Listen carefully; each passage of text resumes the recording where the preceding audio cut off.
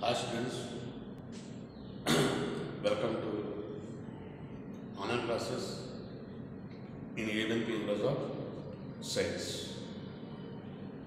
Today, discuss about the fourth semester 50 marks paper titled Leadership Education.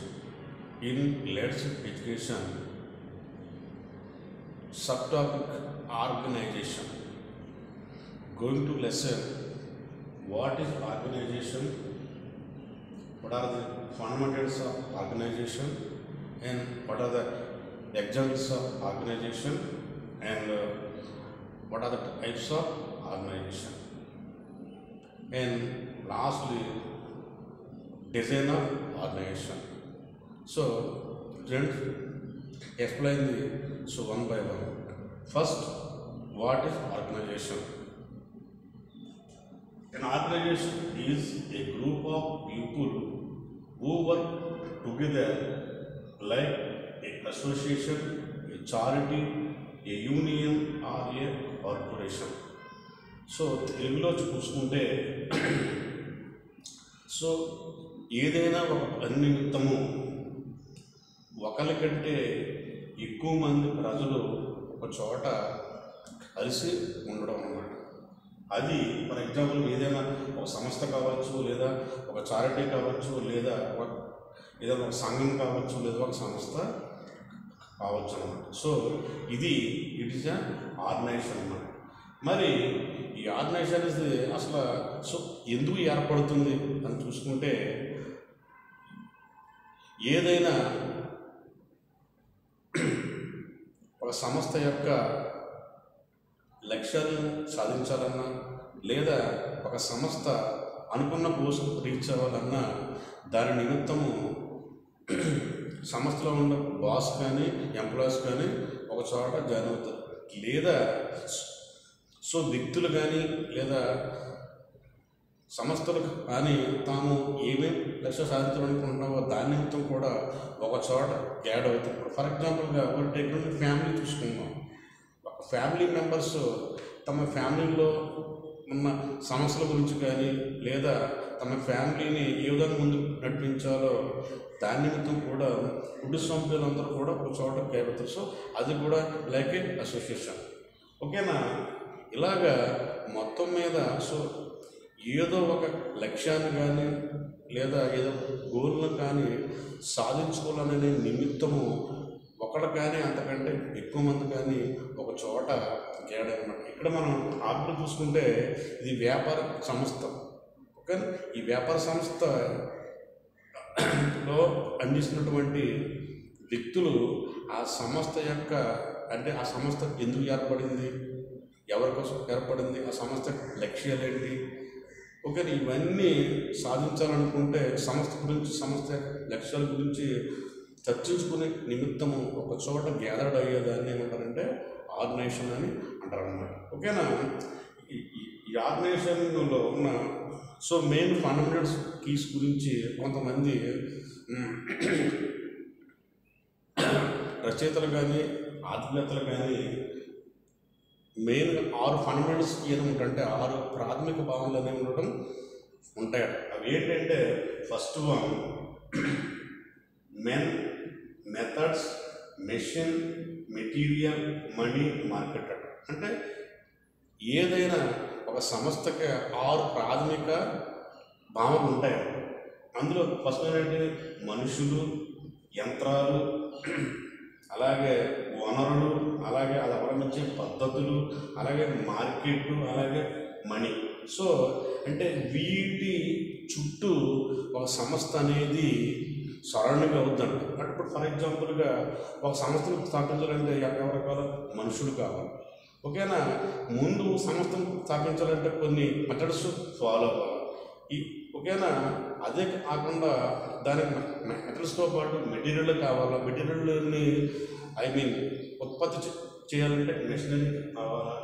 అలాగే ఈ machinery కొనాలంటే ఏం కావాలా? మనీ కావాలా? అలాగే ఈ మిషనరీతో తయారయ్యే అవుట్పుట్ని అంటే సంస్థలో ఉన్న అవుట్పుట్ని బయటకు తరలించాలంటే సో మార్కెట్ కావాలి ఇలాగా ప్రతి ఆర్గనైజేషన్ అనేది ఈ సిక్స్ ఫండమెంటల్ చుట్టూ సరౌండింగ్ అవుతుంది అనమాట నెక్స్ట్ చూసుకుంటే ఇది ఎగ్జామ్స్ చూసుకుంటే ఫర్ ఎగ్జాంపుల్ అంటే సంస్థ అంటే ఇదే అని కాదు. ఫర్ ఎగ్జాంపుల్ చూ- చూసుకుంటే government organisations non government organisations secret societies schools corporations armed force volunteer associations అలాగే non profit organisations charities so ఇవన్నీ కూడా సంస్థకు ఉన్న ఉదాహరణ అన్నమాట. లేదా మనం చూసే సంస్థలు అన్నమాట. సో ఇవి మనం చూసే సంస్థలు అన్నమాట. నెక్స్ట్ చూసుకుంటే ఇందులో ముఖ్యమైన రకాలు ఏంటి? అంటే టైప్స్ ఆఫ్ ఆర్గనైజేషన్ సో మీకు ప్రీవియస్ టాపిక్లో what is organisation what is definition of organisation what are the structure of organisation గురించి మనం చెప్పుకున్నాం అంటే సంస్థ అంటే ఏంటి? లేదా వ్యవస్థీకరణ అంటే ఏంటి? దాని డెఫినేషను మరియు వ్యవస్థీకరణ యొక్క స్ట్రక్చర్ చెప్పుకున్నాం. మనం ఆ స్ట్రక్చర్లో మనం ఆరు ఏడు మనం చెప్పుకున్నాం. ఇప్పుడు నెక్స్ట్కి గోటు లెసన్లోకి వెళితే టైప్స్ ఆఫ్ ఆర్గనైజేషన్ అంటే ఈ ఆర్గనైజేషన్లో రకాలు ఏంటి?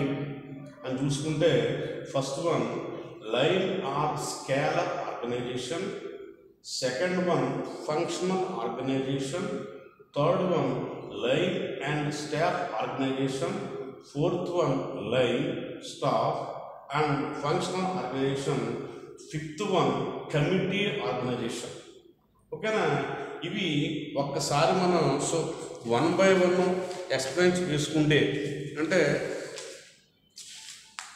చూసుకుంటే ఫస్ట్ వన్ మనం ఏం చూసుకుంటాం ఇక్కడ?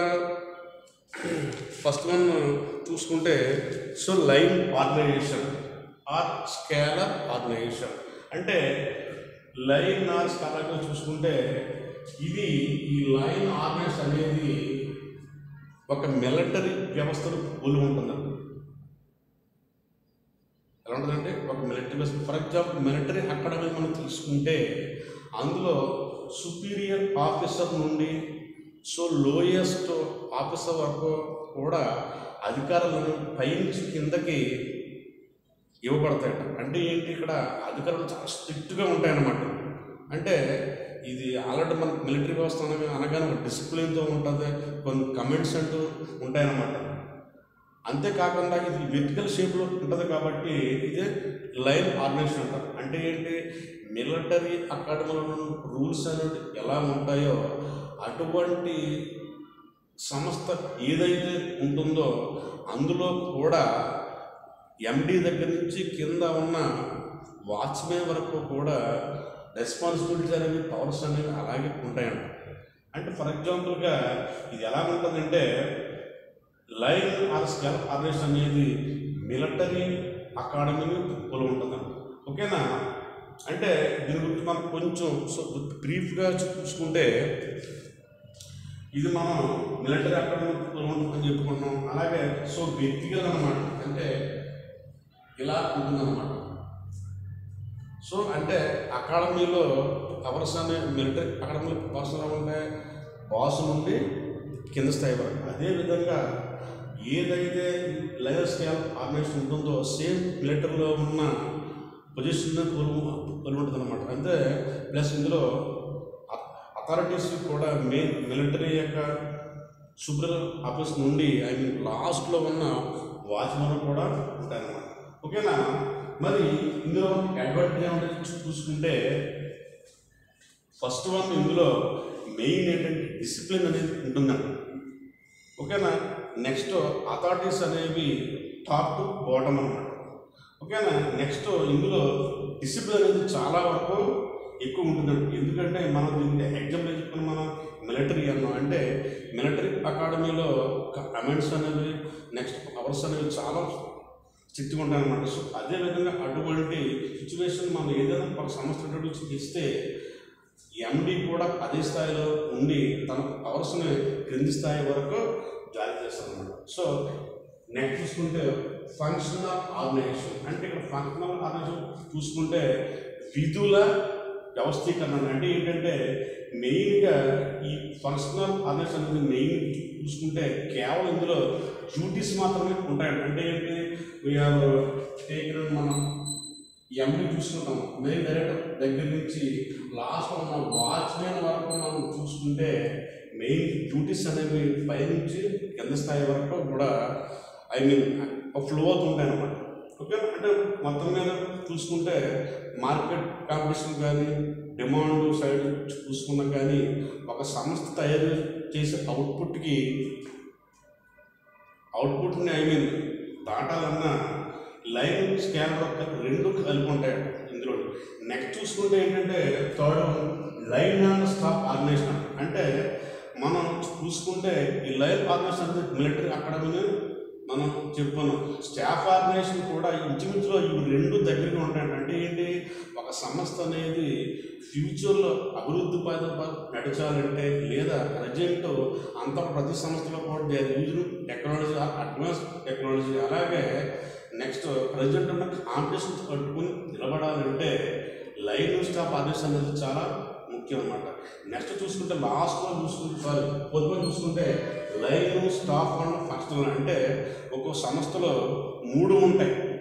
లైన్ స్టాఫ్ అని అంటే ప్రజెంట్ ఎందుకంటే చాలా వరకు కొన్ని సంస్థలు బయట మార్కెట్ పట్టుకుని నిలబడాలి అంటే ఒక సంస్థ తయారు అవుట్పుట్కి బయట డిమాండ్ ఎలా ఉంది?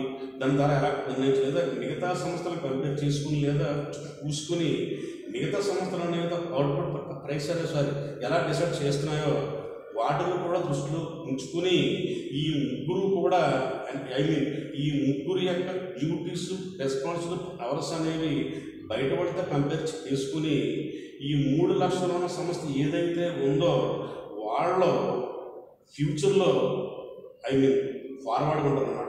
నెక్స్ట్ చూసుకుంటే లాస్ట్ కమిటీ ఆర్గనైజేషన్ చాలా ముఖ్యమైనది ఎందుకంటే ఈ నాలుగు ఆర్గనైజేషన్ పై ఒక కమిటీ ఉంటుందండి. అంటే ఏదైనా ఒక సంస్థలో లైన్స్ గల ఆర్గనైజేషన్ కానీ ఫంక్షనల్ ఆర్గనైజేషన్ కానీ లైన్స్ ఆఫ్ ఆర్గనైజేషన్ కానీ ఇంకో ఈ మూడు ప్లస్ ఉంటే ఈ ఈ ఈ మూడు నాలుగు గంటల మీద ఒక కమిటీ వేస్తారంటే ఫర్ ఎగ్జాంపుల్గా నేను ఎండి చూస్తున్నాం మనం. ఎండి చూస్తే ఏమంటే సంస్థలు ఏమి జరుగుతుంది? ఓకేనా? సంస్థ ఎంప్లాయీస్ ఎలా పనిచేస్తున్నారు. సో రోజు ఎన్ని గంటలు పనిచేస్తున్నారు రోజు ఏదైనా డిస్ప్యూట్స్ ఏమైనా వస్తున్నాయా? వీళ్ళు తెలిసే వస్తున్న మార్కెట్ డిమాండ్ ఎలా ఉంది? ఫ్యూచర్లో మన సంస్థ ఉండగదా లేదా అని వీళ్ళకి తెలియకుండా ఒక కమిటీ వేస్తారు. ఓకేనా? ఆ కమిటీ కూడా రిపోర్ట్ని వీళ్ళకి తెలియకుండా ఎండి కూడా సబ్మిట్ చేయొచ్చు అనమాట ఇక్కడ కూడా ఈ కమిటీ అనేది ఈ నాలుగింటికి సపోర్టివ్గా ఉంటూ అందరూ కలిసి పనిచేసి సంస్థలు ఏం చేస్తారంటే ఫ్యూచర్లో ముందుకు తీసుకెళ్ళే ప్రయత్నం చేస్తాం సో మొత్తం ఏంటంటే ఈ ఐదు ఆదేశాలు కూడా కలిసి పనిచేస్తేనే ఆ సంస్థ అనేది ముందుకు వెళ్ళడం జరుగుతుంది అనమాట ఓకే నాకు నెక్స్ట్ చూసుకుంటే ఒక సంస్థను ఏదో డిజైన్ చేయగలం లేదా ఒక సంస్థ స్ట్రక్చర్ ఎలా ఉంటుంది అని చూసుకుంటే డిజైన్ ఆఫ్ ఆర్గనైజేషన్లో ఫస్ట్ ఆర్గనైజ్ స్ట్రక్చర్ ఎలా ఉంటుందంటే మోటివేట్ స్టార్ట్ అవుతుంది next communication next culture next main styles అనమాట ఓకేనా? ఈ ఆరు రకాల డిజైన్ తోటి ప్రతి సంస్థను కూడా నిర్మితం మనం చేసుకుంటే ఒక స్ట్రక్చర్ మనం ఫాలో అవుతే ఫ్యూచర్లో ఈ సంస్థ మంచి లాభాలు గడించి సో వ్యాపారంలో ముందంజగా ఉండడం జరుగుతుంది అనమాట ఓకే థ్యాంక్ యూ స్టూడెంట్స్